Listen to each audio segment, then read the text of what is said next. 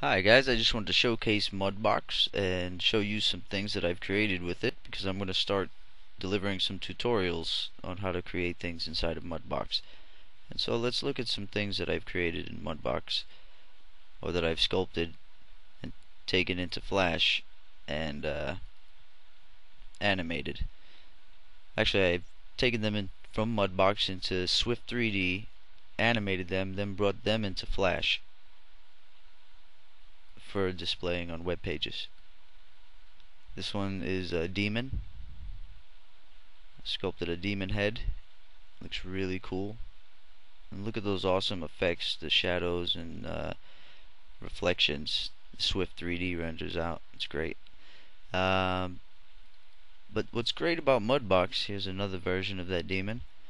What's great about Mudbox is you have the uh, the ability to do organic polygon model sculpting, mesh model sculpting. Look how organic and in detail you can get with your with your sculpting and your your uh, 3D characters. It's it's sick, man. Uh, but let's see, this guy's really cool.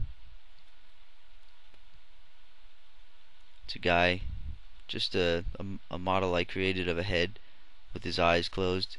He kind of looks like uh, the dude from uh, what's that video game? Hitman. It looks like the Hitman guy.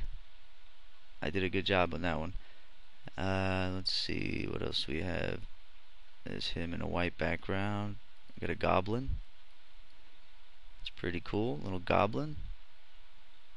I didn't finish his teeth. Uh, what else? There's a little robot. That wasn't uh, made in Mudbox though. This was made in Mudbox. It's a Stingray. That is funky fresh.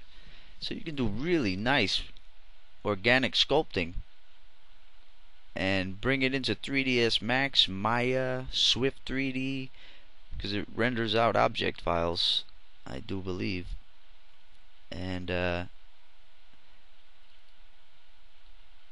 for importing into Swift 3D, I use, I create, I bring them into Maya, and then Maya will render out as DXF, and then DXF files or DFX, uh, DXF.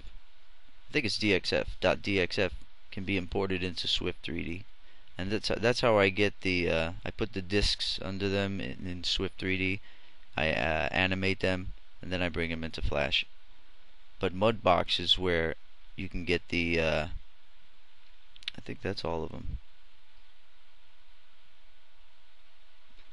I've got a few more somewhere but that shows you the you know uh, a good example of what you can create inside of Mudbox and I'm going to be showing you in the first set of tutorials the interface just getting familiar with the program and then we'll really delve into making some really cool organic sculptures 3D models and you can bring them into Maya, 3ds Max, uh, Swift 3D, any modeling program, any any program that deals with uh, 3D objects, models, object files, and things of that nature. So we'll get to some tutorials on Mudbox real soon.